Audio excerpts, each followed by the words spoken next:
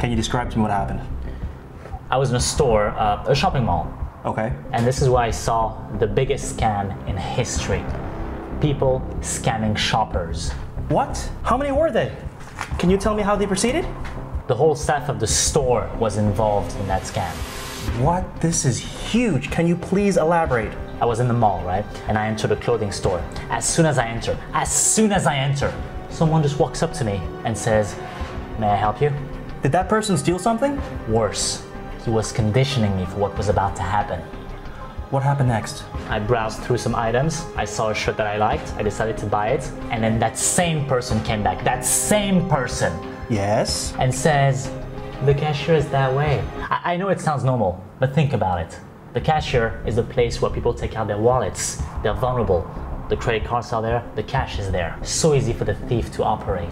You're right. So you head to the cashier, and what happened? The cashier did some sneaky moves with my shirt. I, I don't know. I, I heard a beep sound.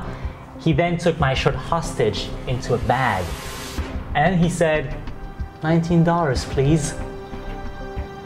I was shocked. I didn't know what to do. And then he said, card or cash? Because he knew I had both. I said card. I, I was stuck. I couldn't go back. And this is where it gets worse. He then held out his hand, forcing me to give him my credit card. The thief. So under duress, I gave it. He slid into the machine and he said, please secretly enter your PIN code. And Don't you get it? He doesn't want anyone to know.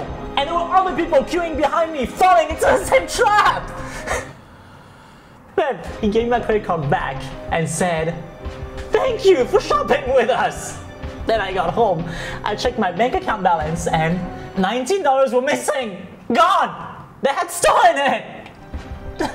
so you just went to the shopping mall and you bought a shirt. That's it. W- was it this shirt? Yeah. Ah. You should return it and get refunded.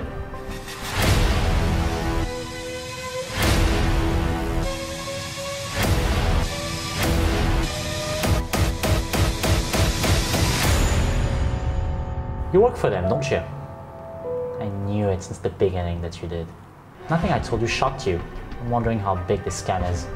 Tell me, who'd you work for? For the citizens! I protect the citizens! Citizens. That's the name of the gang, isn't it?